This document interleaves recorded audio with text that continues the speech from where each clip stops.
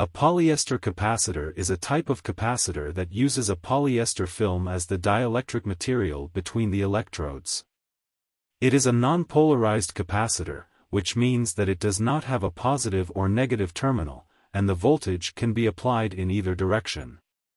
The electrodes of the capacitor are typically made of metallized aluminum or copper, which is deposited on the surface of the polyester film. The polyester film is sandwiched between the two electrodes, and the entire assembly is then encased in a plastic or metal housing to protect it from the environment. Polyester capacitors have several advantages over other types of capacitors.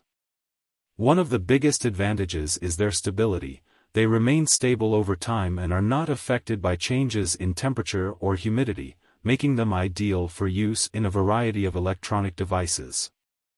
They are also relatively small and inexpensive, making them ideal for use in compact electronic devices.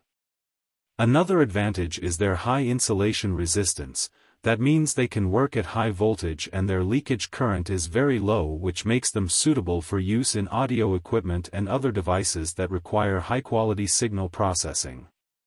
However, there are also some disadvantages to polyester capacitors.